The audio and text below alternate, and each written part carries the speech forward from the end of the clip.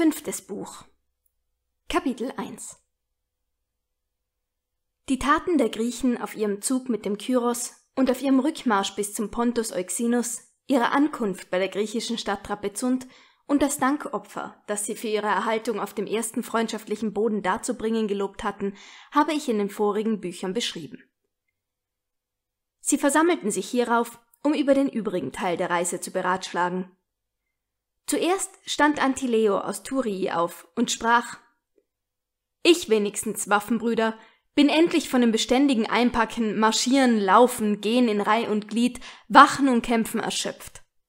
Endlich wünsche ich von diesen Beschwerlichkeiten auszuruhen, und da wir doch am Meer sind, die noch übrige Reise zu Schiff zu machen und ausgestreckt wie Odysseus im Schlaf nach Griechenland zu kommen. Auf diese Rede äußerten die Soldaten durch lautes Murmeln ihren Beifall. Noch ein anderer gab eben diesen Rat und so alle Anwesenden. Jetzt stand Chrysophus auf und sprach Soldaten, Anaxibius ist ein Freund von mir, Admiral ist er aber auch gerade. Wollt ihr mich nun an ihn absenden, so hoffe ich mit dreirudrigen Schiffen und anderen Fahrzeugen zu eurer Abfahrt zurückzukommen. Bleibt also, da ihr zu Schiffe abgehen wollt, so lange hier, bis ich wiederkomme. Dies soll aber bald geschehen. Die Soldaten waren hierüber froh und stimmten für eine baldige Abreise. Nach ihm stand Xenophon auf und sprach Chrysophos reise also ab, um Fahrzeuge zu besorgen. Wir aber bleiben. Was wir nun meinem Bedenken nach während unseres hiesigen Aufenthalts in unserer Lage zu tun haben, will ich jetzt sagen, Zuvörderst müssen wir uns aus den feindlichen Gegenden mit Lebensmitteln versorgen und haben auch nicht einmal, wenige von uns ausgenommen, Geld zum Einkauf und das Land umher ist feindlich. Wir laufen also Gefahr, viele Leute zu verlieren, wenn wir sorglos und unbehutsam nach Lebensmitteln ausgehen. Wir müssen daher, wie ich glaube, aus kombinierten Streifzügen uns Lebensmittel holen und nicht aufs Geratewohl herumschweifen, damit wir diesem Bedürfnis abhelfen, ohne unser Leben in Gefahr zu setzen. Dies wurde beschlossen. Hört weiter. Einige von euch werden wohl auf die Beute ausgehen. Ich halte es dafür für ratsam, dass wer diese Absicht hat, uns meldet, dass und wohin er gehen will, damit wir die Anzahl der Abwesenden und Bleibenden wissen, um im Notfall gemeinschaftlich handeln zu können. Ferner, damit wir, falls sich die Gelegenheit darbietet, einigen beizustehen, den Ort kennen, wohin wir zum Beistand eilen müssen und imstande sind, Unerfahrene, die etwas unternehmen wollen, mit gutem Rat zu unterstützen, indem wir die Stärke des Feindes, den sie angreifen wollen, zu erfahren suchen. Man willigte ein. Überlegt auch dies. Die Feinde haben Gelegenheit, Beute von uns zu machen, und zu verdenken ist es ihnen nicht, wenn sie uns nachstellen, denn wir sind im Besitz ihres Eigentums, und ihre Stellung bedroht die unsere. Ich halte es daher für nötig, um das Lager herum Wachen aufzustellen, denn wenn wir abwechselnd wachen und den Feind beobachten, so wird er uns nicht leicht berücken können. Weiter, da wir nicht sicher wissen, ob auch Chrysophus mit einer hinlänglichen Anzahl Fahrzeuge zurückkommen wird, denn in diesem Fall wäre mein Vorschlag überflüssig, so müssen wir uns, meinem Bedenken nach, Mühe geben, auch aus dieser Gegend Schiffe zusammenzubringen. Sind wir nun bei seiner Rückkunft in dieser Hinsicht schon versorgt? so haben wir desto mehr Fahrzeuge zur Reise, und bringt er selbst keine mit, so können wir uns doch derer bedienen, die wir dann schon haben. Ich sehe hier oft Schiffe vorbeisegeln. Wenn wir uns nun von den Trapezuntiern Kriegsschiffe ausbitten und mit diesen so viel Fahrzeuge aufbringen und durch Wegnahme der Steuerruder in Verwahrung halten, bis wir eine hinlängliche Anzahl beisammen haben, so können wir dann auf jeden Fall die Abreise unserem Wunsch gemäß bewerkstelligen. Auch dies erhielt Beifall. Überlegt endlich, ob es nicht billig ist, die Mannschaft der aufgebrachten Schiffe auf gemeine Kosten so lange, als sie unseretwegen warten muss, zu verpflegen und ihr die Überfahrt zu bezahlen, damit sie für ihre uns geleisteten Dienste doch einigen Vorteil hat. Man willigte ein. Wenn es uns aber nicht möglich ist, eine hinlängliche Anzahl Fahrzeuge zusammenzubringen, so müssen wir, meinem Bedenken nach, den Seestädten anbefehlen, die Wege, die der Beschreibung nach sehr schlecht sind, zu verbessern. Sie werden dies tun, teils aus Furcht, teils auch, um unser bald loszuwerden. Die Soldaten verwarfen diese Maßregel mit Geschrei. Da nun Xenophon ihre Unbesonnenheit sah, ließ er zwar hierüber nicht stimmen, aber er vermochte die Seestädte die Wege freiwillig auszubessern und brauchte dabei den Beweggrund, dass die Griechen umso eher abmarschieren würden, wenn die Straßen gebahnt wären. Die Griechen erhielten von den Trapezuntiern ein Schiff mit 50 Rudern und übertrugen den Oberbefehl darüber dem aus einer lakedämonischen Provinzialstadt gebürtigen Dexippus. Allein statt Fahrzeuge aufzubringen, entfloh dieser mit dem Schiff aus dem Pontus. Doch in der Folge erhielt er die verdiente Strafe. Denn da er sich beim Seutes in Thracien unbesonnenerweise in gewisse Händel mischte, verlor er durch den Lakedämonier Nikandros das Leben. Auch erhielten sie ein Schiff von 30 Rudern und übergaben es dem Oberbefehl des Atheniensers Polykrates, der alle Schiffe, die er aufbrachte, der Armee zuführte. Die Waren derselben wurden herausgenommen und zu ihrer Sicherheit Wachen hinzugestellt. Die Schiffe brauchte man zur Fahrt. Währenddem gingen die Griechen auf Beute aus. Manche waren dabei glücklich, andere wieder nicht. Kleanetos, der seine und andere Kompanien in eine gefährliche Gegend geführt hatte, büßte mit vielen seiner Leute das Leben ein.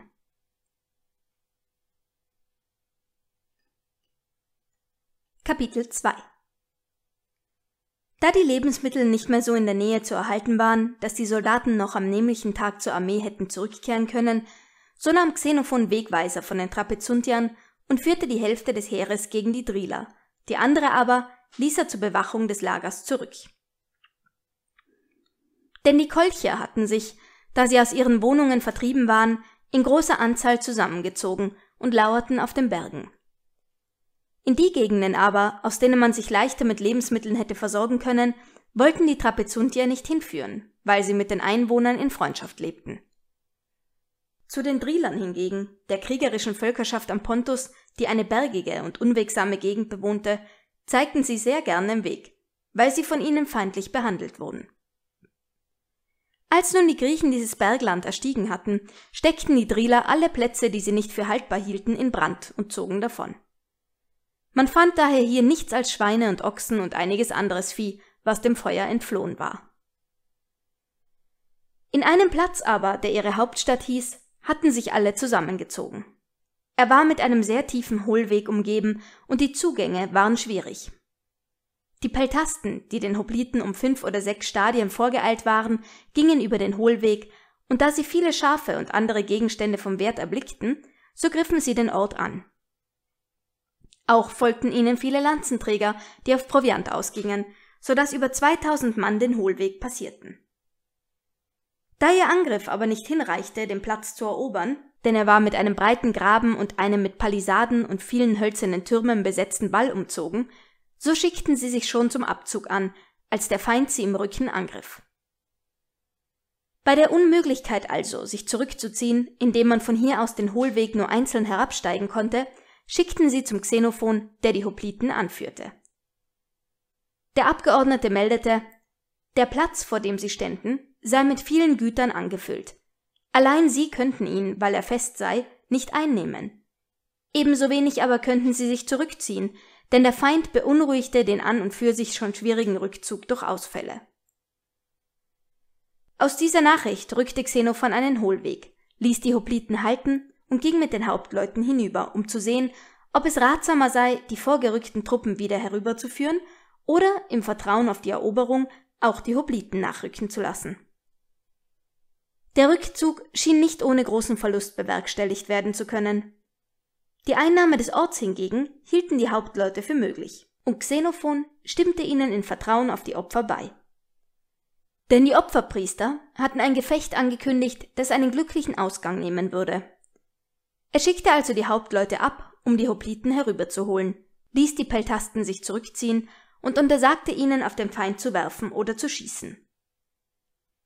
Als die Hopliten ankamen, forderte Xenophon die Hauptleute auf, jeder von ihnen möchte seine Kompanie in eine Fassung setzen, bei der er sich von ihrer Bravour das meiste verspreche. Denn die Hauptleute, welche die ganze Zeit über um den Preis der Tapferkeit wetteiferten, standen einander nahe. Es geschah. Hierauf gab er den Befehl, die Peltasten sollten sämtlich die Hand am Riemen des Wurfspießes vorrücken und auf das gegebene Zeichen sogleich abwerfen. Die Bogenschützen sollten den Pfeil auf die Sehne legen, um aufs Kommando zum Schluss fertig zu sein. Die Gymneten sollten ihre Taschen mit Steinen gefüllt haben, und zugleich schickte er taugliche Personen ab, um diese Befehle bekannt zu machen. Nachdem nun alles angeordnet war, die Hauptleute, die Unterhauptleute und die sich ihnen gleichschätzten, sich wegen der Beschaffenheit des Orts, die nur eine einförmige Stellung zuließ, nebeneinander geordnet hatten, so dass einer den anderen beobachten konnte, so wurde dieser Pean angestimmt. Die Trompete erklang, zugleich riefen die Soldaten zum Kriegsgott ihr Gebet, die Hopliten drangen im vollen Lauf vorwärts und miteinander flogen Pfeile, Wurfspieße und Steine, teils mit Schleudern, größtenteils auch mit bloßen Händen geworfen. Ja, manche eilten auch mit Feuer heran. Von der Menge der Geschosse zog sich der Feind aus den Verschanzungen und Türmen hinaus. Der Stymphalia Agasias und Philoxenos von Pelene legten deshalb die Waffen ab und stiegen in der bloßen Kleidung hinan, einer half dem anderen hinauf, und mancher war schon oben, so dass der Platz dem Ansehen nach erobert war. Auch die Peltasten und leichten Truppen drangen hinein und plünderten jeder aufs Beste. Xenophon aber stellte sich ans Tor und hinderte so viel als möglich das Eindringen der Hopliten. Denn auf einigen befestigten Anhöhen ließen sich andere Feinde sehen. Nach einer kleinen Weile entstand ihnen ein Geschrei. Manche flohen mit dem, was sie erbeutet hatten, andere aber auch mit Wunden zurück, und das Gedränge an dem Tor war groß. Man vernahm von den Herausstürzenden, inwendig sei eine Burg, der Feind habe in zahlreicher Menge einen Ausfall getan und schlage die Truppen in der Stadt. Da befahl Xenophon dem Herold Tolmides auszurufen, jeder, der Beute zu machen wünsche, könne hineingehen. Nun eilte eine große Menge in die Stadt, riss die Fliehenden mit sich fort, und der Feind wurde wieder auf seine Festung beschränkt. Außerhalb derselben machten die Griechen in allen übrigen Teilen des Orts Beute und brachten sie heraus. Die Hopliten aber stellten sich teils auf dem Wall, teils auf der Straße, die auf die Burg führte, in Schlachtordnung. Xenophon aber untersuchte mit den Hauptleuten, ob es möglich wäre, die Burg zu erobern. Denn dann war der Rückzug gesichert, sonst aber äußerst schwierig. Allein bei näherer Besichtigung fanden sie, dass der Platz schlechterdings unbezwinglich war. Sie machten sich nun zum Abzug fertig, rissen die eben zunächst stehenden Palisaden nieder und schickten die zum Tross gehörigen Leute mit dem größten Teil der Hopliten auf Plünderung aus, Diejenigen Soldaten aber, auf welche ihre Hauptleute das meiste Zutrauen setzten, wurden zurückbehalten. Als nun der Rückzug begann, machte der Feind, bewaffnet mit Flechtschilden, Lanzen, Beinschienen und paphlagonischen Helmen, in zahlreicher Menge einen Ausfall auf sie. Andere stiegen auf die Häuser, die auf beiden Seiten der auf die Burg führenden Straße standen. Es war daher auch gefährlich, sie zu den auf die Burg führenden Toren zu verfolgen denn sie wälzten große Balken herunter, wodurch man auf jeden Fall, man mochte bleiben oder gehen, in eine üble Lage kam, die durch die anrückende Nacht noch verschlimmert wurde. In der Verlegenheit dieses Kampfes gab ihnen eine Gottheit ein Rettungsmittel in die Hand. Auf einmal nämlich loderte rechts, von irgendjemanden angezündet, ein Haus auf, und als es einstürzte, flohen die Feinde von den rechts liegenden Häusern. Xenophon, durch diesen Zufall belehrt, gab sogleich Befehl, auch die Häuser zur linken Seite in Brand zu stecken. Da sie, vom Holz erbaut, schnell in Flammen gerieten, so flüchteten sich die Feinde auch hier. Die Griechen hatten also nur noch mit denen zu tun, die ihnen gegenüberstanden, und der Augenschein lehrte, dass diese ihnen auf dem Rückzug aus der Stadt und über den Hohlweg in den Rücken fallen würden. Xenophon ließ daher die Soldaten, die außer dem Schuss standen, auf dem Platz, der sie von den Feinden trennte, Holz zusammentragen, und als genug beisammen war, anzünden. Auch wurde, um die Feinde aufzuhalten, die zunächst an dem Wall stehenden Häuser in Brand gesteckt. Und so gelang es ihnen endlich mit Mühe, durch das dem Feind entgegengestellte Hindernis des Feuers, sich von diesem Platz zurückzuziehen. Die ganze Stadt mit ihren Häusern, Türmen und Brustwehr, kurz alles nur die Burg ausgenommen, brannte nieder. Am folgenden Tag traten die Griechen mit Lebensmittel versehen ihren Rückmarsch an. Der Weg nach Trapezunt hinab flößte den Griechen, weil er jäh und schmäl war, Besorgnis ein. Sie suchten daher durch einen scheinbaren Hinterhalt den Feind zu täuschen. Ein gewisser Mysius nämlich, aus Mysien auch gebürtig, nahm vier oder fünf Kreter zu sich, blieb in einem Gehölz zurück und gab sich das Ansehen, als suchte er sich vor dem Feind verborgen zu halten. Allein ihre ehernen Schilde leuchteten hier und da durchs Gebüsch, und die Feinde, die den Schimmer wahrnahmen, befürchteten einen Hinterhalt.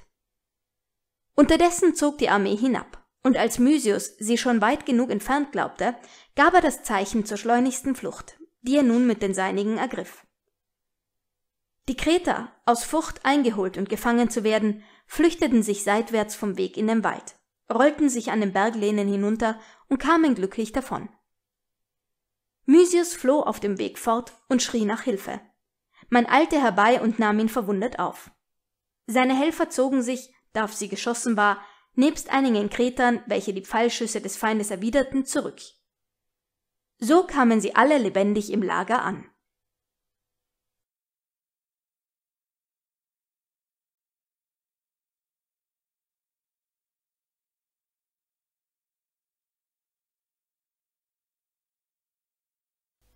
Kapitel 3 Chrysophus kam nicht.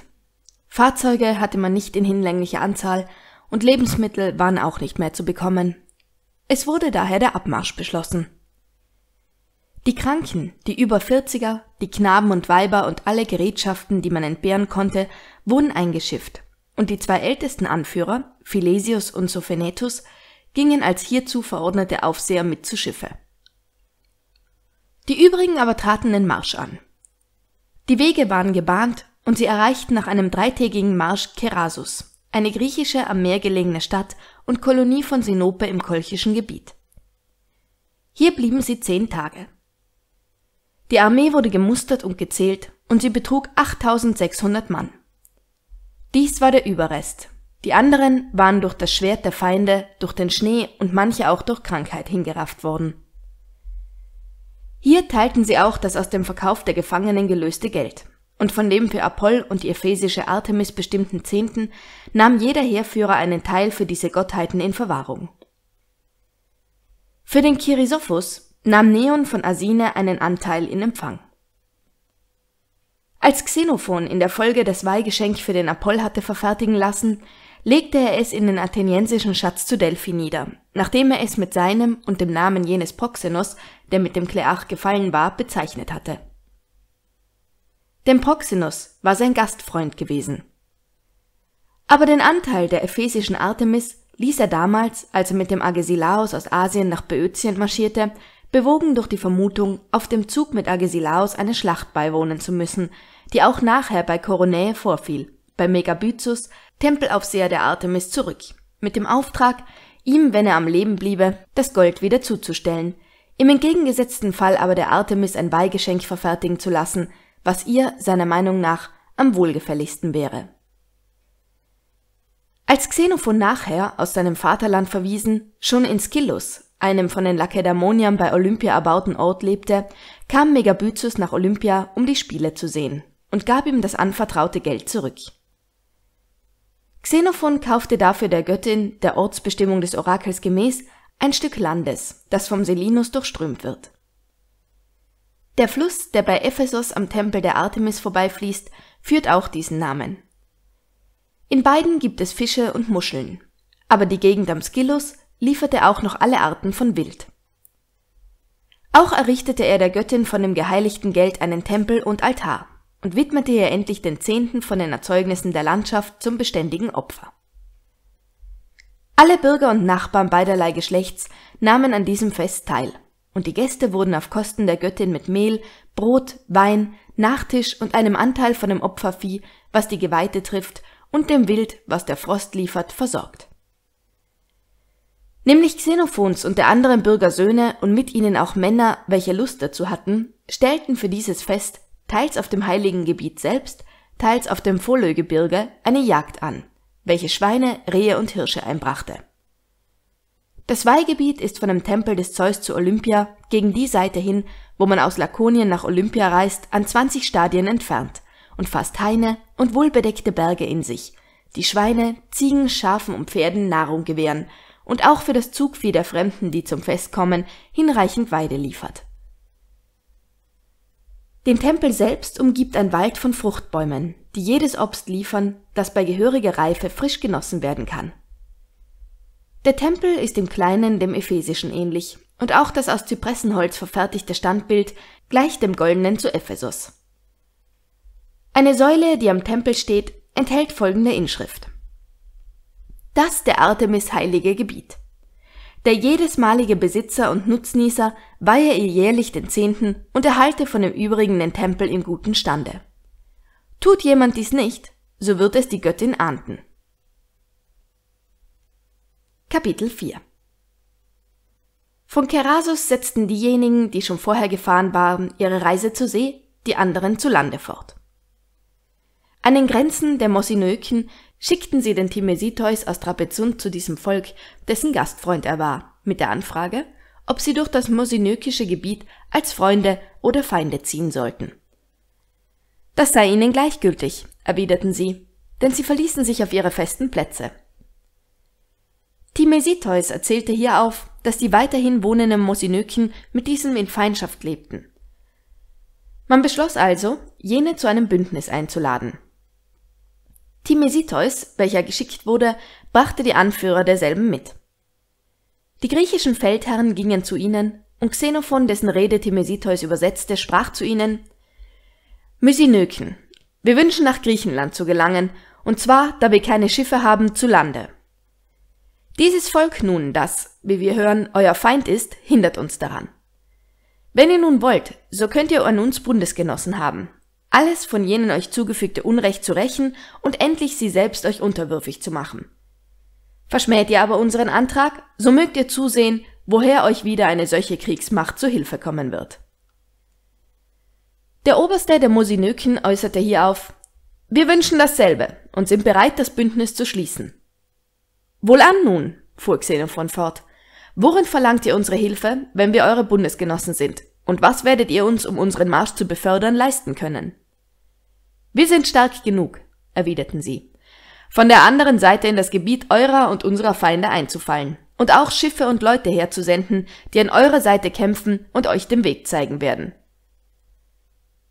Nachdem dieser Vertrag gegenseitig beschworen war, gingen sie ab und kamen am folgenden Tag mit 300 einstämmigen Kähnen wieder. In jedem Kahn saßen drei Mann, Je zwei davon stiegen aus und stellten sich in Reih und Glied, und der dritte blieb zurück.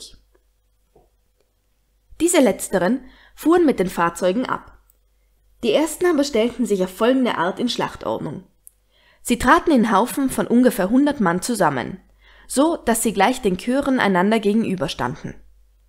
Alle führten Flechtschilde, die mit weißhaarigen Ochsenhäuten überzogen waren und die Form eines Efeublattes hatten. In der rechten hielten sie einen sechssäligen Spieß, der vorn in einer Spitze auslief, hinten aber am Schaft kugelförmig gerundet war. Über den Knien trugen sie Unterkleider, so dick wie die leinerne Mantelsäcke. Ihren Kopf deckte ein lederner Helm, gleich dem Paphlagonischen, aus dessen Mitte ein der Tiara sehr ähnlicher Haarwulst hervorragte. Auch führten sie eiserne helle Barden. Hierauf begannen alle unter dem Vorgang eines Anführers zu singen und nach dem Takt zu marschieren. Sie zogen sich durch die Reihen des schweren Fußvolks der Griechen durch und gingen gerade auf den Feind gegen die Festung, die am leichtesten einzunehmen schien, los. Das Werk lag vor der Stadt, die sie ihre Hauptstadt nannten, in derselben aber war die höchste Festung der Mosinöken, die eben die Ursache ihres inneren Krieges war. Denn die jedesmaligen Besitzer derselben hielten sich für die Gebieter aller Mosinöken, die damaligen Gewalthaber nun besaßen sie, wie die Mosinöken versicherten, mit Unrecht und maßten sich eines Gemeingutes zur Unterdrückung der anderen an. An sie schlossen sich, bloß um Beute zu machen, nicht auf Befehl der Feldherren, auch einige Griechen an. Bei dem Vorrücken derselben verhielten die Feinde sich anfangs ruhig. Als jene aber der Festung nahe waren, so machten sie einen Ausfall, schlugen sie in die Flucht und hieben Mosinöken oder auch einige der mit ihnen verbundenen Griechen nieder. Ihre Verfolgung setzten sie weiter fort, bis sie griechische Hilfstruppen anrücken sahen. Dann kehrten sie um, schnitten den Gebliebenen die Köpfe ab und zeigten sie den Griechen und ihren Feinden, wobei sie zugleich nach einem gewissen Takt tanzten und sangen. Die Griechen waren sehr aufgebracht, dass man dem Feind Veranlassung gegeben hatte, noch kühner zu werden und dass die mit dem Mosinöken verbundenen Griechen, ungeachtet ihrer starken Anzahl, zugleich mit ihnen geflohen waren. So etwas hatten sie in dem ganzen Kriegszug noch nicht getan. Xenophon ließ deshalb die Griechen zusammenkommen und sagte Soldaten, lasst euch diesen Vorfall nicht kleinmütig machen. Denn er ist, ungeachtet seines Nachteils auf der anderen Seite, nicht minder vorteilhaft für uns. Zuerst gewährte er euch die Überzeugung, dass unsere künftigen Wegweiser wirklich Feinde jener Mosinöken sind, gegen die auch wir feindlich verfahren müssen. Dann haben diejenigen Griechen, die mit Vernachlässigung unserer Taktik sich einbilden, in Verbindung mit nichtgriechischen Truppen ebenso viel als auf unserer Seite ausrichten zu können, die verdiente Strafe erlitten, so dass sie wohl nicht leicht wieder unsere Stellungsart verlassen werden. Allein nun ist es eure Pflicht, den mit uns verbündeten Mosinöken eure Vorzüge zu bewähren und den Feinden es augenscheinlich zu machen, dass sie jetzt mit ganz anderen Männern fechten als zuvor, da sie es mit ungeordneten Truppen zu tun hatten. Diesen Tag über verhielten sie sich ruhig. Am folgenden Tag aber, nachdem das Opfer, welches einen glücklichen Ausgang versprach, vollbracht und die Mahlzeit geendigt war, stellten sie sich in Kolonnen, postierten die Mosinöken ebenso auf den linken Flügel und nahmen die Bogenschützen in die Zwischenräume der Kolonnen, doch so, dass sie darin von der Front der Hopliten noch etwas rückwärts standen. Nämlich unter den Feinden waren leichte Truppen, welche hervorliefen und mit Schleudern Anfälle machten, diesen nun taten die Bogenschützen und Peltasten Einhalt, die anderen aber marschierten langsam vorwärts, und zwar zuerst gegen die Burg, wo die Mosinöken und ihre Bundesgenossen den Tag zuvor waren geschlagen worden. Denn hier standen die Feinde in Schlachtordnung. Den Angriffen der Peltasten hielten die Feinde aus, ohne zu weichen. Als aber die Hopliten nahe waren, nahmen sie die Flucht. Die Peltasten setzten ihnen sogleich nach und verfolgten sie aufwärts bis an die Hauptstadt, die Hopliten aber rückten in geschlossener Ordnung nach. Oben an den Häusern der Hauptstadt empfingen die Feinde, die daselbst alle zusammengezogen hatten, sie mit Wurfspießen und mit Lanzen von solcher Dicke und Länge, dass ein Mann daran zu tragen hatte, und mit diesen suchten sie ihren Gegnern in der Nähe zurückzutreiben. Als aber die Griechen nicht wichen, sondern auf sie eindrangen, so nahmen sie die Flucht, und nun verließen alle zusammen die Stadt. Aber ihr König, der in einem hölzernen Turm wohnte, wo selbst er, ohne sich daraus entfernen zu dürfen, auf öffentliche Kosten unterhalten wurde, wollte so wenig wie die Besatzung jenes zuerst eroberten Forts heraus. Sie wurden also daselbst zugleich mit ihren Schlössern verbrannt. Die Griechen plünderten die Stadt und fanden in den Häusern Vorräte von Broten, die, wie die Mosinöken sagten, nach Sitte der Vorfahrt seit vorigem Jahr aufgeschüttet waren, nebst diesjährigem Getreide, das noch in den Halmen lag und größtenteils aus Spelt bestand. Auch fanden sie eingesalzenes Delfinfleisch in Fässern, nebst dem Speck in Gefäßen, dessen sich die Mosinöken wie die Griechen ihres Öls bedienten. In den oberen Stockwerken gab es eine Menge platter Nüsse ohne Spalt, deren sie sich häufig zur Speise bedienten, indem sie sie kochten und Brot daraus buken. Der Wein, den man hier fand, schmeckte unvermischt herbe und sauer, vermischt aber war er für Geruch und Geschmack angenehm. Nachdem die Griechen hier gegessen hatten, marschierten sie weiter und übergaben den Platz den mit ihnen verbündeten Mosinöken. Von den anderen feindlichen Städten, auf die der Marsch führte, wurden die unhaltbarsten von den Einwohnern entweder verlassen oder freiwillig übergeben. Die meisten Plätze waren von dieser Beschaffenheit. Sie standen voneinander, einige mehr, andere weniger, 80 Stadien weit ab, und ihrem wechselseitigen Zuruf konnten sie von einer Stadt zur anderen vernehmen – so hoch und voller Klüfte war die Landschaft. Als sie in das Gebiet ihrer Bundesgenossen kamen, zeigten ihnen diese gemästeten Kinder, die reichen Eltern angehörten und mit gekochten Kastanien gefüttert, sehr zart und weiß und beinahe ebenso dick als lang waren. Der Rücken war bunt bemalt und der Vorderleib ganz mit Blumen tätowiert. Mit den Weibspersonen, welche die Griechen bei sich führten, wollten sie sich hier vor aller Augen begatten. Denn das war so bei ihnen Sitte. Alle Männer und Weiber waren weiß. Diese Völkerschaft wurde von allen, die dem Kriegszug beigewohnt hatten, für die ungebildetste und dem griechischen Charakter unähnlichste unter allen, durch deren Gebiet man gekommen war, erklärt. Denn was Menschen gewöhnlich nur dann, wenn sie allein sind, vornehmen, taten sie vor allen Leuten. Und waren sie allein, so handelten sie ebenso, als wären sie in Gesellschaft. Denn sie sprachen mit sich selbst, lachten für sich, und wo sie zufällig standen, tanzten sie gleichsam als wollten sie sich vor anderen zeigen. Kapitel 5 Dieses Land, sowohl den feindlichen als auch verbündeten Teil, durchzogen die Griechen in acht Märschen, und kamen zu den Kalyben. Diese kleine, dem Mosinöken unterwürfige Völkerschaft lebt meist von der Arbeit in den Eisenbergwerken. Von ihr kamen sie zu den Tibarenen. Das Land derselben war viel flacher, und ihre Schlösser, die am Meer lagen, waren minder befestigt. Die Heerführer wollten diese angreifen, um der Armee einige Vorteile zu verschaffen. Sie nahmen daher die Gastgeschenke, die ihnen die Tibarenen schickten, nicht an, sondern hießen sie bis nach beendigter Beratschlagung warten und opferten dann. Nach vielen Opfern taten endlich alle Seher den Ausspruch, den Göttern missfiele der Krieg gänzlich. Jetzt nahmen sie die Geschenke an, und nach einem zweitägigen Marsch durch dieses Land, wo sie sich friedlich betrugen, erreichten sie Kotiora, eine griechische Stadt und Kolonie von Sinope, die im tiberenischen Gebiet liegt.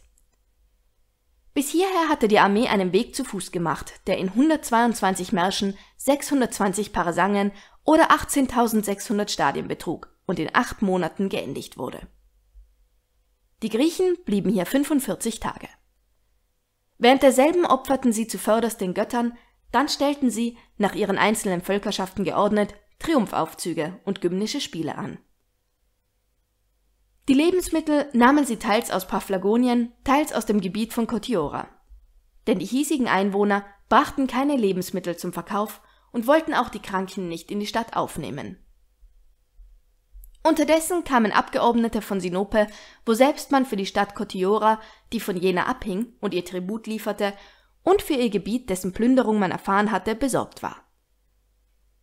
Nach ihrer Ankunft im Lager hielt Hekatonymus, der für einen starken Redner galt, an der Spitze der Gesandtschaft folgenden Vortrag. Kriegsmänner, die Stadt Sinope hat uns abgesendet, um euch ihren Beifall zu bezeugen, dass ihr, geborene Griechen, Barbaren besiegt habt und um euch ihre Teilnahme zu versichern, dass ihr aus so vielen und, wie wir gehört haben, gefahrvollen Unternehmungen wohlbehalten bis hierher gekommen seid. Selbstgeborene Griechen, glauben wir nun, von euch Griechen viel mehr freundschaftliche als feindselige Behandlung erwarten zu dürfen, besonders da wir euch nie eine Beleidigung zufügten. Dieses Kotiora nun ist unsere Pflanzstadt, und wir haben ihr diese Landschaft, die wir den Barbaren abnahmen, übergeben. Weshalb sie uns auch, wie Kerasus und Trapezunt, bestimmte Abgaben entrichten. Jede Feindseligkeit also, die ihr gegen diese verüben möchtet, nimmt der Staat von Sinope so auf, als wäre sie ihm selbst widerfahren. Gleichwohl haben wir vernommen, dass ihr mit Gewalt in die Stadt eingedrungen seid, um für einen Teil eurer Leute Quartier zu nehmen, und dass ihr ohne gütliche Übereinkunft von dem Land alle eure Bedürfnisse bezieht. Dies halten wir für unbillig. Und wenn ihr dies Betragen fortsetzt, so sind wir genötigt, uns mit Korylas und den Paphlagoniern und mit wem wir sonst nur können, zu verbinden. Auf diese Rede stand Xenophon auf und sprach im Namen des Heeres Sinopenser, wir müssen froh sein, dass wir nur mit Erhaltung unseres Lebens und unserer Waffen hier angekommen sind, denn viele Beute mitzuführen und zugleich gegen die Feinde zu kämpfen, ließ sich nicht vereinigen. Als wir die griechischen Städte erreichten, bezahlten wir bei Trapezunt, weil man uns da selbst eine Markt anwies, unsere Bedürfnisse bar. Auch für die Achtung, die sie uns durch Absendung von Gastgeschenken an die Armee erzeigten, erwiesen wir ihnen gegenseitige Freundschaft. Wir schonten zum Beispiel die Barbaren, mit denen sie in gutem Verhältnis standen, und ihren Feinden, gegen die sie uns selbst anführten, taten wir den möglichsten Abbruch. Fragt sie, wie wir uns gegen sie betrugen. Denn es sind einige hier, die uns die Stadt als Wegweiser mitgab. Kommen wir aber an einen Ort, er sei griechisch oder nicht, wo man uns keine Lebensmittel zulässt, dann nehmen wir sie nicht aus Übermut, sondern weil wir müssen.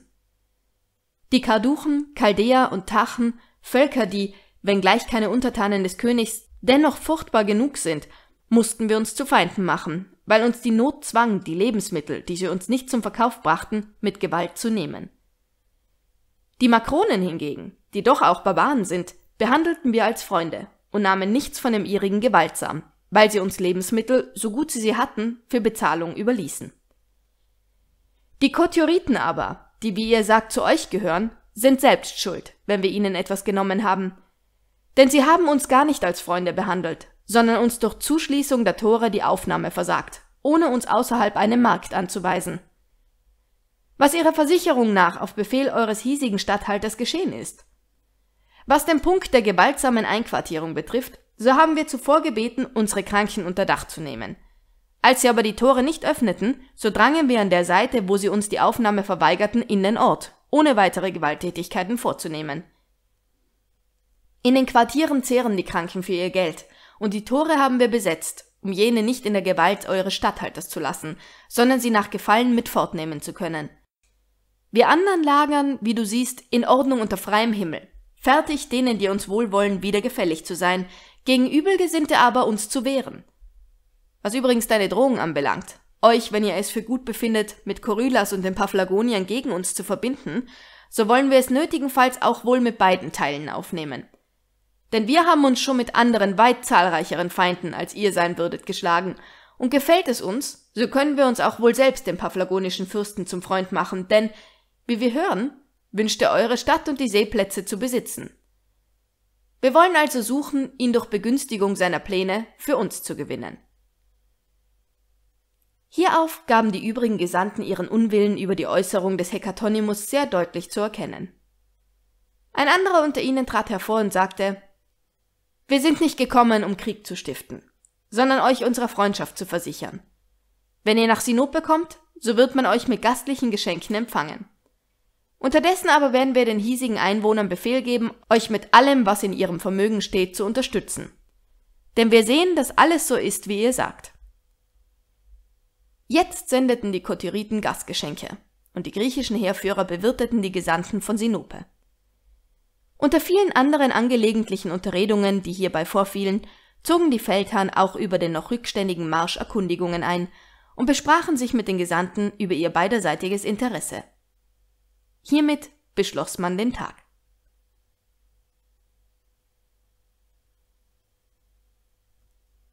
Kapitel 6 am folgenden Tag versammelten die Feldherren das Heer und beschlossen, über den rückständigen Teil der Heimreise mit Zuziehung der Sinopenser zu beratschlagen. Denn bestimmte man die Reise zu Lande, so schien es vorteilhaft, Wegweiser von Sinope zu haben, da ihnen Paphlagonien bekannt war. Bestimmte man die Reise zur See, so hielt man die Hilfe der Sinopeser für notwendig, weil sie allein imstande wären, die Armee mit einer hinlänglichen Anzahl Fahrzeuge zu versorgen. Die Gesandten wurden also zur Versammlung berufen und ersucht, sie möchten die gute Aufnahme ihrer griechischen Landsleute damit beginnen, dass sie ihnen ihr Wohlwollen schenkten und sie mit ihrem besten Rat unterstützten.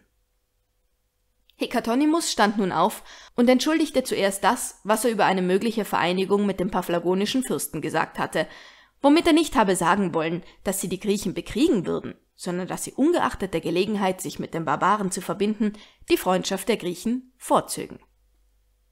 Dann, als man ihn aufforderte, seine Meinung zu sagen, begann er nach einem vorangeschickten Gebet. Wenn ich euch so rate, wie es nach meiner Überzeugung am besten ist, so fordere ich die Götter zum Segen für mich, wo nicht zur Strafe gegen mich auf. Denn wir sind hier versammelt, um gemeinschaftlich Rat zu halten, also in einer Angelegenheit, die allgemein für etwas Ehrwürdiges erkannt wird. Dann habe ich auch jetzt, je nachdem meine Vorschläge für nützlich oder schädlich erkannt werden, von vielen unter euch entweder Beifall oder Verwünschung zu erwarten. Es ist mir freilich bekannt, dass die Schwierigkeiten für uns viel größer sind, wenn ihr die Reise zur See macht. Denn wir werden dazu die Schiffe liefern müssen. Dass hingegen die Landreise euch in Verlegenheit setzt, indem sie euch zu fechten zwingt. Gleichwohl will ich nach meiner Überzeugung sprechen, denn ich kenne das Land der Paphlagonier und ihre Macht. In jenem findet man beides, die schönsten Ebenen und die höchsten Berge. Zuvörderst kenne ich den Ort, wo ihr euren Einmarsch bewerkstelligen müsst, nämlich nur da, wo sich die Straße zwischen zwei hohen Spitzen des Gebirges hinzieht. Hat man diese eingenommen, so kann man sie auch mit sehr weniger Mannschaft behaupten. Sind sie aber schon besetzt, so würden alle Menschen miteinander nicht imstande sein, durchzukommen. Davon kann ich euch durch den Augenschein überzeugen, wenn ihr jemanden mit mir dahin abschicken wollt. Dann kenne ich auch ihre Ebenen und ihre Reitermacht, die von den Barbaren selbst der ganzen Reiterei des Königs vorgezogen wird.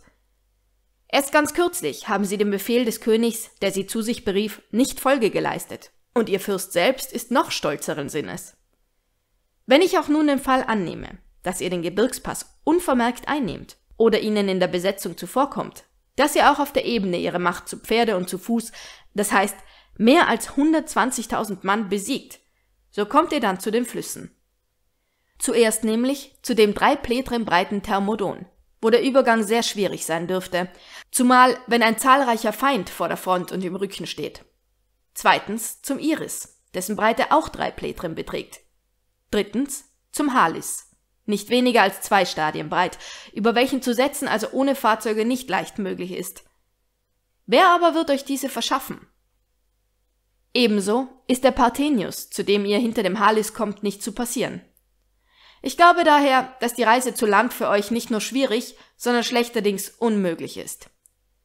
Geht ihr aber zu Schiff, so könnt ihr von hier nach Sinope und von Sinope nach Heraklea fahren. Von Heraklea aus hat die Reise sowohl zu Lande als zu See, denn es gibt in Heraklea Schiffe genug, keine weitere Schwierigkeit. Diese Rede erregte bei einigen den Argwohn, dass er nur aus Freundschaft für Korylas, dessen Gastfreund er war, so spräche. Bei anderen sogar, dass er sich für diesen Rat schon würde bezahlen lassen. Bei noch anderen, er suche nur zu verhindern, dass durch die Landreise das Gebiet von Sinope nicht mitgenommen würde. Dem ungeachtet entschieden die Griechen durch Stimmenmehrheit für die Seereise. Hierauf sagte Xenophon, die Armee hat eurem Rat gemäß gewählt, doch nur unter der Bedingung, wenn Fahrzeuge in hinreichender Anzahl vorhanden sind, dass auch nicht einer zurückbleiben darf. Sonst aber, wenn ein Teil sich einschiffen, der andere aber zurückbleiben sollte, besteigen wir kein Schiff. Denn wir sehen ein, dass wir da, wo wir der stärkere Teil sind, für Sicherheit und Unterhalt nicht besorgt sein dürfen. Da aber, wo uns der Feind überlegen ist, natürlich so gut wie Sklaven zu betrachten wären. Die Abgeordneten verlangten hierauf, man möchte Gesandte schicken. Es wurde daher Kalimachus aus Arkadien, Ariston aus Athen und Samolas aus Achaia in dieser Eigenschaft abgesendet. Während dieser Zeit fiel Xenophon bei der Betrachtung der zahlreichen Menge griechischer Hopliten, Peltasten, Bogenschützen, Schleuderer und Reiter, Menschen, mit denen sich wegen ihrer Erfahrung schon was anfangen ließ, auf den seiner Meinung nach guten Gedanken, durch Anlegung einer Stadt im Pontus, wo es nicht wenig würde gekostet haben, eine solche Macht erst aufzustellen, Griechenlands Gebiet und Macht zu vergrößern. Diese Kolonie schien ihm, wenn er die Menge Griechen und die benachbarten Bewohner des Pontus in Erwägung zog, in der Folge beträchtlich werden zu können. Dieser Sache wegen ließ er den Ambrakioten Silanus, dessen sich Kyros zum Zeichendeuter bedient hatte, zu sich kommen, und ehe er irgendjemand von der Armee seine Gedanken eröffnete, eine Opferbeschauung anstellen. Silanus aber, besorgt es möchte zur Ausführung kommen und die Armee sich irgendwo niederlassen, verbreitete überall das Gerücht, Xenophon lege es darauf an, die Armee da zu behalten, eine Stadt zu erbauen und sich selbst Ruhm und Macht zu erwerben. Für seine Person nämlich wünschte Silanus so bald als möglich nach Griechenland zu kommen. Denn er hatte jene 3000 Dareichen, die ihm Kyros, weil seine die zehn Tage betreffende Opferdeutung eingetroffen war, schenkte, noch ganz vollständig aufbewahrt. Einem Teil der Soldaten schien es selbst am vorteilhaftesten dazubleiben, dem größeren aber nicht.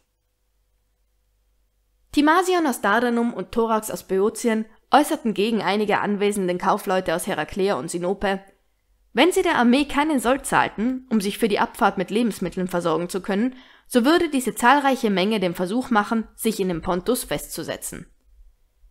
Denn Xenophon, fuhren sie fort, hat den Plan zu dessen Ausführung wie ihm behilflich sein sollen, sogleich nach Ankunft der Schiffe der Armee diese Eröffnung zu machen. Soldaten, wir sehen, dass ihr jetzt außerstande seid, euch für die Seereise mit Lebensmitteln zu versorgen und bei der Heimkunft der Eurigen etwas mitzubringen und bei der Heimkunft den Eurigen etwas mitzubringen. Wenn ihr daher in dem Umkreis des Pontus eine Landschaft, die ihr nach Belieben wählen könnt, einnehmen und dann jedem freistellen wollt, nach Hause zu reisen oder da zu bleiben, so habt ihr jetzt Schiffe, um sogleich, wo ihr nur wollt, eine Landung zu unternehmen. Die Kaufleute benachrichtigten ihre Städte hiervon und in ihrer Gesellschaft ließ der Dardania Timasion seinen Landsmann Eurymachus und den Böotier Thorax mitreisen, um dort eben dasselbe vorzutragen. Die Bürger von Sinope und Heraklea ließen hier auf dem Timasion sagen, er solle das Geld in Empfang nehmen und durch sein Ansehen das Heer zum Absegeln vermögen. Mit Vergnügen nahm er diesen Auftrag an und hielt den Soldaten, als sie sich versammelt hatten, folgende Anrede. Fern, Soldaten! sei von uns der Gedanke, hier zu bleiben oder irgendetwas Griechenland vorzuziehen. Und doch höre ich, dass gewisse Personen über diese Angelegenheit, ohne etwas davon gegen euch zu erwähnen, die Opfer zu Rate ziehen. Ich verspreche euch aber, wenn ihr mit dem Neumond absegelt, jedem unter euch einen Kyzizäner monatlichen sollt. Nach Troas werde ich euch bringen, woraus ich vertrieben wurde.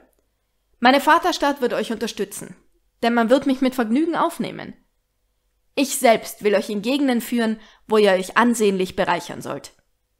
Denn ich kenne Ätolien, Phrygien, Troas und das ganze Gebiet des Pharnabazus. Jenes, weil es mein Geburtsland ist, dieses, weil ich da selbst mit Kleach und der Rizylidas zu Felde gedient habe. Gleich nach ihm stand der Boeotier Thorax auf, der wegen des Oberbefehls über die Armee beständig Xenophons Gegner war, und sagte, Wenn ihr den Pontus verlasst, so steht euch der Chersones, ein schönes und wohlhabendes Land offen, wo jeder nach Belieben dableiben oder nach Hause ziehen kann. Es ist ja lächerlich, einen Wohnplatz im Ausland zu suchen, wenn man ihn in Griechenland selbst weitläufig und äußerst fruchtbar haben kann. Bis ihr dort ankommt, verspreche ich euch wie Timasion Löhnung. Dies letztere sagte er, weil ihm bekannt war, was die Herakleer und Sinopenser dem Timasion, um die Abfahrt zu bewirken, versprochen hatte. Xenophon schwieg hierzu. Allein nun standen die Achäer, Philesius und Lykon auf und sagten, es sei doch arg, dass Xenophon aus eigener Macht zum Dableiben überrede und diese Sache wegen die Opfer erforsche, ohne der Armee davon eine Anzeige zu machen, noch sich hierüber öffentlich zu erklären. Dadurch fand sich Xenophon genötigt, aufzustehen und Folgendes zu sagen. Soldaten, ich erforsche die Opfer, wie ihr seht, nach meinem Vermögen für euch und für mich, um so zu reden, zu denken und zu handeln, wie es für euch und mich am ehrenvollsten und vorteilhaftesten ist. Auch jetzt erst habe ich mich durch Opfer eben darüber zu belehren gesucht, ob es besser sei, über meinen Plan mit euch zu sprechen und zu unterhandeln, oder ihn gar nicht erst zu berühren. Der Seher Silanus indessen gab mir die Antwort, dass die Opfer, und das ist doch die Hauptsache, einen glücklichen Erfolg versprechen.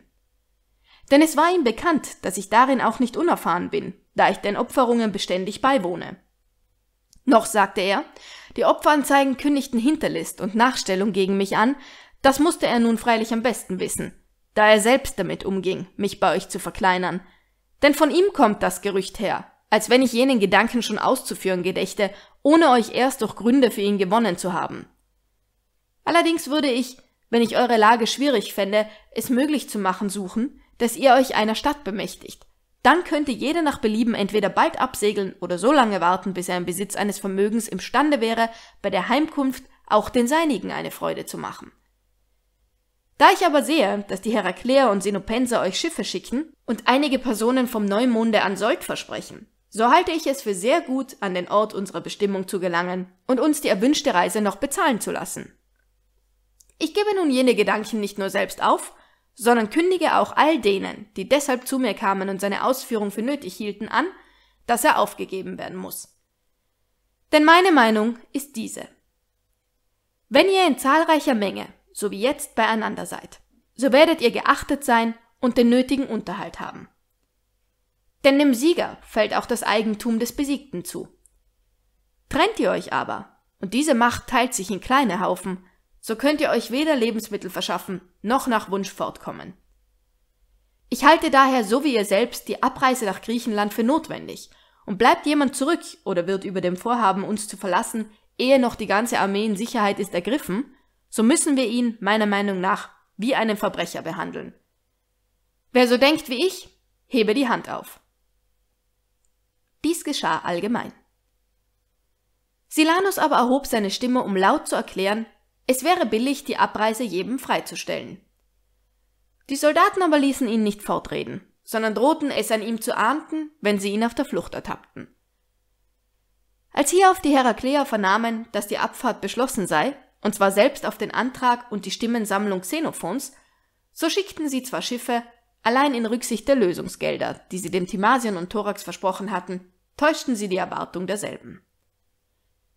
Hierüber wurden diese, die den Sold schon zugesagt hatten, bestürzt. Und da sie sich vor der Armee fürchteten, so vereinigten sie sich mit den anderen Heerführern, denen sie ihre vorigen Maßregeln mitgeteilt hatten.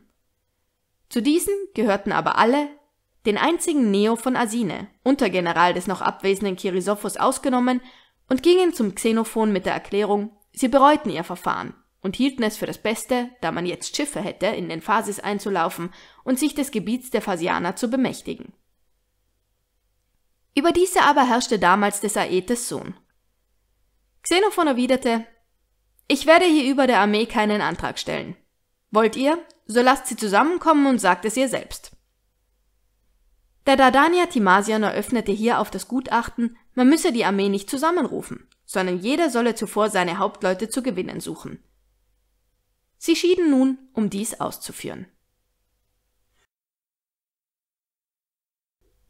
Kapitel 7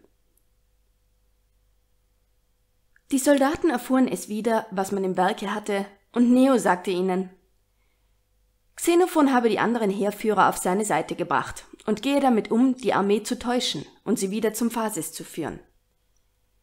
Die Soldaten nahmen dies sehr übel auf, hielten Zusammenkünfte und traten truppenweise zusammen, und es war sehr zu besorgen, sie möchten eine ähnliche Tat begehen, wie sie an den kolchischen Herolden und an den Marktaufsehern verübt hatten, von denen alle, die sich nicht aufs Meer flüchteten, waren gesteinigt worden.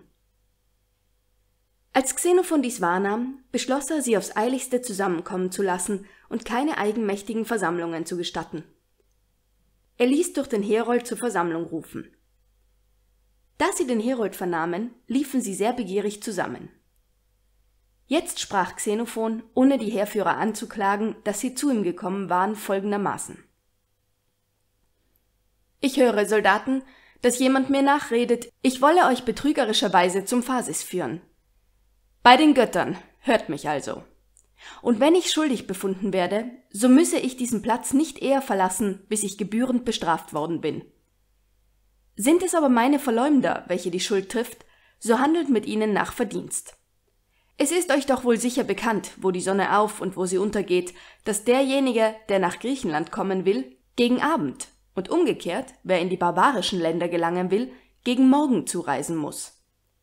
Würde euch also wohl irgendjemand überreden können, dass die Sonne da untergehe, wo sie aufgeht, oder da aufgehe, wo sie untergeht? Ferner wisst ihr doch wohl, dass der Nordwind aus dem Pontus nach Griechenland fährt, der Südwind aber zum Phasis. Daher pflegt ihr auch, wenn der Nordwind weht, zu sagen, er sei günstig zur Fahrt nach Griechenland. Wäre es also möglich, euch so zu täuschen, dass ihr bei Südwinde zu Schiffe gingt? Doch vielleicht werde ich euch einschiffen, wenn wir Windstille haben, Wohl, ich fahre doch dann nur auf einem Schiff und ihr wenigstens auf hundert. Wie könnte ich euch also mit Gewalt oder Täuschung bewegen, mit mir zu fahren? Ich will aber den Fall setzen, ihr kämt, von mir hintergangen und bezaubert, an den Phasis, ihr stiegt auch sogar ans Land, so würdet ihr doch gewahr werden, dass ihr nicht in Griechenland wärt.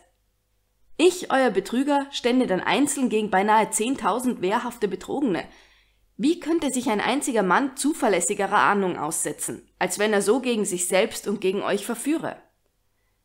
Doch, das ist das Geschwätz einfältiger Menschen, die mir eure Hochachtung nicht gönnen.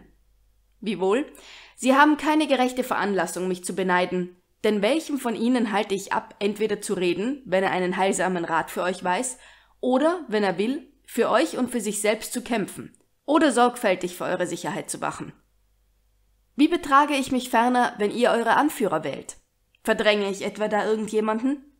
Nein, ich mache ihm Platz. Er kann meinetwegen das Kommando übernehmen, wenn er es nur zu eurem Besten führt. Doch dies sei genug über diesen Gegenstand. Glaubt aber jemand von euch, dass er sich entweder durch eigenen Irrtum oder durch fremde Überredung in seiner guten Meinung von mir geirrt habe, der beweise dies öffentlich. Wenn ihr nun in diesen Rücksichten befriedigt seid, so trennt euch nicht eher, bis ihr aufgehört habt, welches Verfahren ich in der Armee aufkommen sehe. Wenn dies in der Art, wie wir schon ein Beispiel haben, fortgesetzt wird und sich weiter verbreitet, so ist es hohe Zeit, uns selbst zu beraten, dass wir uns nicht vor Göttern und Menschen, vor Freunden und Feinden als die schlechtesten und unwürdigsten Leute der Verachtung aussetzen. Die Soldaten, in gespannter Erwartung, was das wäre, forderten ihn auf, es zu sagen. Er fuhr also fort. Ihr wisst doch, dass es auf dem Gebirge der Barbaren einige Ortschaften gab, die mit den Kerasuntiern im Bündnis standen und aus denen manche Einwohner herabkamen und uns Opfervieh und andere Waren, die sie hatten, zum Verkauf brachten. Wie mich dünkt, gingen auch einige von euch in das nächste Städtchen dieser Leute, kauften etwas und kamen wieder zurück. Der Hauptmann Klearatus, der es bemerkt hatte, dass der Ort klein und weil die Einwohner mit uns in Frieden zu stehen glaubten, unbewacht war, zog bei Nachtzeit, ohne jemandem von uns etwas zu sagen, gegen diese Menschen aus, um sie zu plündern. Er hatte den Plan entworfen, nach der Einnahme des Platzes nicht mehr zur Armee zurückzukehren, sondern das Fahrzeug zu besteigen, worin seine Zeltkameraden gerade die Küste befuhren, die etwaige Beute darauf zu packen und so aus dem Pontus hinwegzusegeln. Dies war, wie ich jetzt einsehe, zwischen ihm und seinen Zeltgenossen in dem Fahrzeug so verabredet. Er zog also so viele Mannschaft, als er dazu bereden konnte, zusammen und führte sie auf den Ort los. Indessen überraschte ihn noch auf dem Marsch der Tag, und die Einwohner, welche zusammengelaufen waren, warfen und schossen nun von ihren Anhöhen herab und erlegten den Klearatus und viele von den übrigen. Einige aber retteten sich nach Kerasus. Eben an dem Tag, als dies vorfiel, hatten wir uns hierher in Marsch gesetzt. Von denen aber, welche zu Schiffe reisten, waren einige noch nicht abgesegelt, sondern hielten sich noch in Kerasus auf. Hierauf kamen nach Aussage der Karasuntia drei der älteren Männer aus dem Städtchen, um zu uns in die Versammlung zu gehen. Als sie uns aber nicht mehr antrafen, wendeten sie sich an die Kerasuntia und äußerten gegen diese ihre Verwunderung, was uns doch möchte bewogen haben, sie anzugreifen. Auf die Versicherung jener, dass die Tat nicht Folge eines öffentlichen Auftrags sei, waren sie froh und wollten uns nachsegeln, um uns den Vorfall anzuzeigen und zu erklären, diejenigen, die sich dafür interessierten, möchten die Gebliebenen abholen, um sie zu begraben. Nun waren gerade einige von den Griechen, die sich durch die Flucht gerettet hatten, noch in Kerasus. Als diese erfuhren, wohin die Barbaren wollten, unterfingen sie sich, sie mit Steinen zu bewerfen und auch die anderen dazu aufzumuntern, und so mussten diese Menschen, drei Abgeordnete mit Steinen bedeckt, ihr Leben einbüßen. Hierauf kamen die Kerasuntier zu uns und erzählten den Vorfall. Wir Heerführer waren darüber äußerst unwillig und beratschlagten mit den Kerasuntiern, wie es anzufangen wäre, um die gebliebenen Griechen zur Erde zu bestatten. Wir saßen hierbei außerhalb des Lagers, auf einmal hörten wir ein vielfaches Geschrei. Schlag zu, schlag zu, wirf! und sogleich sahen wir eine große Menge mit Steinen in den Händen oder im Aufheben begriffen heranlaufen. Die Kerasuntia, Augenzeugen der Tat, die bei ihnen verübt worden war, zogen sich aus Furcht zu ihren Schiffen zurück. Bei den Göttern. Auch einige von uns waren für sich besorgt. Ich indessen ging auf sie zu und fragte sie um die Veranlassung dieses Auflaufs. Einige von ihnen wussten sie selbst nicht, obwohl sie Steine in den Händen hatten. Als ich aber an einen kam, dem sie bekannt war, so sagte mir dieser, die Marktaufseher behandeln die Armee äußerst unbillig. In demselben Augenblicke wurde einer gewahr, dass der Marktmeister Zelach ans Meer zurückging und schrie auf. Nun rannten sie ihm nach, als hätte sich ein Eber oder Hirsch sehen lassen. Die Kerasuntia, die jene auf sich zukommen sahen und glaubten, es sollte ihnen gelten, entflohen eilends und stürzten sich ins Meer, und mit ihnen auch einige der unsrigen, und wer nicht schwimmen konnte, ertrank. Was meint ihr wohl, wofür diese sich fürchteten? Zuleide getan hatten sie uns doch nichts. Sie besorgten also, es möchte uns gleich den Hunden eine Art von Wut befallen haben. Wenn das so fortgeht, so gebt acht, in welchen Zustand das Heer geraten wird. Krieg anzufangen oder Frieden zu schließen, wird dann nicht mehr das Werk eurer gemeinschaftlichen Beschlüsse sein, sondern einer, dem es einfällt, wird die Armee nach eigenen Gutdünken führen, wohin er will. Wenn die Gesandten zu uns kommen, entweder um Frieden zu bitten oder in einer anderen Angelegenheit, so werden Leute, denen dies gerade beliebt, durch die Ermordung derselben uns die Gelegenheit rauben, ihre Anträge zu vernehmen. Ferner werden diejenigen Befehlshaber, die ihr durch gemeinschaftliche Beschlüsse wählt, gar kein Ansehen haben. Wer sich aber selbst zum Anführer bestimmt und sich einfallen lässt, Schlag zu, Schlag zu zu rufen, der wird Macht genug besitzen, nach Willkür sowohl einen Befehlshaber als einen Gemeinen unter euch ohne Verhör zu töten, wenn er sich nur Helfershelfer zu verschaffen weiß, wie wir eben erst gesehen haben. Lasst uns aber einmal sehen, was diese selbstgewählten Anführer auch angerichtet haben. Wenn der Marktaufseher Zelach auch Unrecht hat, so ist er nun abgesegelt, ohne dafür bestraft worden zu sein. Ist er aber unschuldig, so entfloh er vom Heer aus Furcht, um nicht ohne Urteil und Recht sein Leben einzubüßen. Die Steiniger der Gesandten haben es nun dahin gebracht, dass wir allein unter den Griechen nicht mit Sicherheit nach Kerasus gehen können, außer mit bewaffneter Macht. Die Gebliebenen, deren Auslieferung zum Begräbnis uns von ihren Besiegern selbst vorher angeboten wurde, können wir nun, so viel haben sie bewirkt, auch nicht einmal mehr durch einen Herold ohne Gefahr abholen, denn wer wird als Herold hingehen wollen, wenn er selbst Herolde erschlagen hat? Deshalb haben wir auch die Kerasuntia ersucht, jene zu begraben. Ob dies alles nun so schicklich und recht ist, darüber erklärt euch jetzt, damit, wenn dieses Betragen Sitte werden sollte, jeder für sich selbst wachen und sich nach einer befestigten Anhöhe für sein Lager umsehen kann. Glaubt ihr aber, dass diese Handlungen wilder Tiere, aber nicht menschlicher Wesen sind, so sucht ihnen ein Ziel zu setzen, wo nicht, beim Zeus, wie wollen wir dann ruchloser Taten schuldig mit Frohsinn den Göttern opfern? Wie wollen wir mit den Feinden kämpfen, wenn wir selbst einander ermorden? Welche friedliche Stadt wird uns aufnehmen, wenn sie die Zügellosigkeit unter uns wahrnimmt? Wer wird mit Vertrauen uns Lebensmittel zuführen, wenn wir in den Angelegenheiten des Markts öffentlich so auffallende Verbrechen begehen? Und was den Ruhm anbetrifft, welchen Ruhm könnten wir wohl besonders erwarten? Wer wird uns solche Menschen wohl rühmen? Wir wenigstens, das weiß ich, würden Personen, die sich so betrügen, schlechte Menschen nennen. Nun standen alle auf und sagten, die Urheber dieser Verbrechen müssten bestraft werden. Niemand sollte in der Folge so zügellos verfahren, und wer es sich unterfinge, müsste sterben. Die Feldherren sollten die Schuldigen zur Verantwortung ziehen und auch gegen andere Vergehen, die seit Kyros Tode möchten begangen worden sein, sollten gerichtlich verfahren werden. Das richterliche Amt übertrugen sie den Hauptleuten. Auch wurde auf Xenophons Anraten, dem die Seher beipflichteten, die Entzündigung der Armee beschlossen und ausgeführt. Kapitel 8 Man beschloss ferner, auch die Feldherren sollten von ihrem bisherigen Betragen Rechenschaft ablegen. Es geschah, und Philesius und Xanthikles mussten wegen ihrer Nachlässigkeit in der Bewachung der Schiffsladungen eine Geldstrafe von 20 Minen erlegen.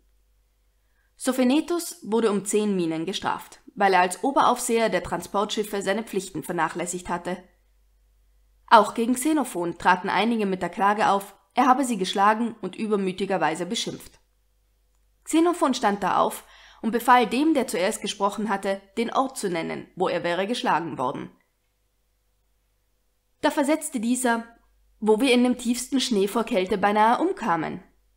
Nun wirklich, sagte Xenophon, wenn ich bei solchem Wetter, wie du es beschreibst, wo uns der Proviant fehlte und nicht so viel Wein vorhanden war, um daran riechen zu können, wo viele dem Übermaß der Mühseligkeit erlagen, wo uns der Feind auf dem Fuße folgte, wenn ich da noch übermütig war, so muss ich gestehen, dass ich an Übermut noch die Esel übertreffe, die auch, wie man sagt, vor Kitzel die Müdigkeit nicht gewahr werden. Doch sage mir, fuhr er fort, warum bekamst du denn die Schläge? Verlangte ich etwas von dir und schlug ich, weil du es mir nicht geben wolltest? Oder forderte ich etwas zurück? Oder geriet ich mit dir einer Liebschaft wegen in Streit? Oder misshandelte ich dich in der Trunkenheit? Als er dies alles verneinte, so fragte ihn Xenophon weiter, Dienst du unter den Hopliten? Nein. Unter den Peltasten? Auch nicht. Ich hatte von meinen Zeltkameraden dazu bestellt, ein Maultier zu treiben, obwohl ich übrigens ein Freigeborener bin. Nun erkannte er ihn und fragte, Bist du nicht der, der die Kranken fortbrachte? Jawohl, der bin ich. Du zwangst mich dazu, da du die Gerätschaften meiner Kameraden zerstreutest. Nun, mit dieser Zerstreuung ging es so zu. Ich verteilte dies Gepäck unter andere mit dem Befehl, es mir wieder zuzustellen, es wurde mir alles richtig eingeliefert und ich gab es dir wieder zurück, nachdem du mir jene Menschen gezeigt hattest. Lasst euch aber doch erzählen, wie das alles zusammenhängt. Es ist der Mühe wert. Ein Mann, der nicht mehr weiter marschieren konnte, blieb liegen. Ich kannte ihn weiter nicht, als dass er zu uns gehörte. Um ihn nicht umkommen zu lassen, gab ich dir den Befehl, ihn fortzubringen. Denn der Feind, wie mich dünkt, war uns im Rücken. Der Mensch bejahte dies. Ich hatte dich vorausgeschickt, fuhr Xenophon fort, und als ich mit dem Nachzug vorwärts rückte, traf ich dich wieder an, als du eben eine Grube machtest, um den Menschen zu verscharren. Ich trat hinzu und lobte dich. Allein während wir noch dastanden, zuckte der Mensch mit dem Bein. Alle Anwesenden schrien, er lebt. Nur du sagtest, meinetwegen so viel er will. Ich aber bringe ihn nicht weiter. Darauf schlug ich dich. Da hast du recht. Denn du schienst es mir gewusst zu haben, dass er lebte. Nun aber, versetzte dieser, War er nicht dennoch gestorben, als ich ihn dir nachher zeigte? Ja, sterben, sagte Xenophon, müssen auch wir alle. Soll man aber deshalb uns lebendig begraben? Nun schrien alle, dieser habe noch zu wenig Schläge bekommen.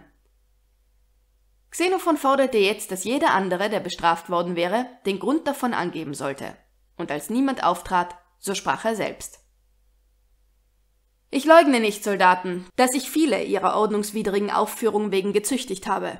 Leute, die es sich zwar gefallen ließen, durch euch, die ihr auf dem Marsch geschlossen bliebt und wo es nötig war, fochtet, geschützt zu sein, selbst aber ihre Reihen verließen und vorauseilten, um zu plündern, um mehr Beute zu machen als ihr. Wenn wir es alle so gemacht hätten, so wäre wohl von uns kein Mann mehr am Leben. Auch den Trägen, der nicht aufstehen wollte, sondern sich lieber den Feinden aussetzte, schlug ich und zwang ihn zum Fortmarsch. Als ich selbst einmal bei jener durchdringenden Kälte, während ich noch auf einige wartete, die sich zum Marsch erst fertig machten, eine gute Weile gesessen hatte, konnte ich kaum aufstehen und die Beine ausstrecken. Seit dieser eigenen Erfahrung trieb ich jeden, den ich niedersitzen und einschlafen sah, zum Gehen an. Denn Bewegung und Anstrengung brachte eine gewisse Wärme und Biegsamkeit hervor. Aber beim Niedersitzen und Ruhen verdicken sich, wie ich bemerkte, das Blut und die Zehen froren ab. So ist es, wie ihr selbst wisst, vielen gegangen. Dann habe ich vielleicht auch einen anderen, der irgendwo um auszuruhen stehen blieb und sowohl euch beim Vortrabe als uns beim Nachzuge am Marschieren hinderte, mit der Faust geschlagen, um ihn den feindlichen Wurfspießen zu entziehen. Jetzt, nachdem sie gerettet sind, steht es diesen Leuten frei, mich zur Verantwortung zu ziehen, wenn ich ihnen etwas zuleide tat. Wären sie aber den Feinden in die Hände gefallen, wegen welcher Beleidigung, und wenn sie auch noch so groß war, hätten sie dann Genugtuung fordern können. Lasst mich reden, wie es mir ums Herz ist. Habe ich jemanden zu seinem Besten gezüchtigt, so halte ich mich ebenso wie Eltern oder Lehrer in Ansehung ihrer Kinder oder Schüler, ihm Genugtuung zu geben, für verpflichtet. Schneiden und brennen doch die Ärzte bisweilen in wohltätigen Absichten. Haltet ihr mein damaliges Verfahren für eine Folge des Übermuts, so überlegt doch nur, dass ich jetzt, dank sei den Göttern, mutigeren und rascheren Sinnes bin und mehr Wein trinke als damals. Und dennoch schlage ich keinen, denn ich sehe euch in Sicherheit. Wenn bei einem Sturm das Meer hochgeht, seht ihr dann nicht, wie der Befehlshaber auf dem Vordern und der Steuermann auf dem hinteren Teil des Schiffes gegen seine Leute schon eines Winks wegen aufgebracht wird? Denn auch das geringste Versehen unter solchen Umständen kann alles zugrunde richten. Die Rechtmäßigkeit der Schläge aber, die ich jenen Leuten gab, habt ihr damals selbst bestätigt. Denn nicht mit Stimmtäfelchen, sondern mit Waffen versehen standet ihr da, imstande, wenn es euch beliebte, ihnen beizustehen. Aber beim Zeus, ihr kamt weder diesen Strafbaren noch mir in ihrer Bestrafung zu Hilfe. Also bestärktet ihr die Feigherzigen in ihrer Zügellosigkeit, indem ihr dazu schwiegt. Denn dass die Menschen, die jetzt am meisten pochen, damals die größten Feiglinge waren, würdet ihr, glaube ich, bei einiger Aufmerksamkeit wohl finden. So bestand damals der thessalische Faustkämpfer Beuskus darauf, keinen Schild zu tragen, weil er krank wäre. Und jetzt hat er, wie ich höre, viele Kotoriten beraubt. Wollt ihr daher klug handeln, so verfahrt mit ihm auf die entgegengesetzte Art, wie man es mit den Hunden macht. Denn böse Hunde pflegt man am Tag anzubinden, des Nachts aber loszulassen. Was aber diesen Menschen betrifft, so werdet ihr wohl tun, ihn des Nachts anzubinden und am Tage loszulassen. Übrigens aber befremdet es mich, dass ihr dessen, womit ich mir etwa die Unzufriedenheit eines oder des anderen unter euch zuzog, recht wohl gedenkt und mir nichts verschweigt. Dass ich aber diesen gegen Kälte schützte, jenen den Feinden entriss, hier einem in Krankheit, dort einem in Mangel zu Hilfe kam, daran denkt keiner mehr. Ebenso habt ihr die Fälle vergessen, wo ich meinen Beifall äußerte, wenn jemand eine rühmliche Tat beging, wo ich jeden braven Mann nach meinen Kräften zu ehren suchte. Und doch ist es schön, gerecht, tugendhaft und angenehm, mehr des Guten als des Bösen zu gedenken. Jetzt standen sie auf mit der Erinnerung an Xenophons Verdienste um sie, und alles lief zu seiner Ehre ab.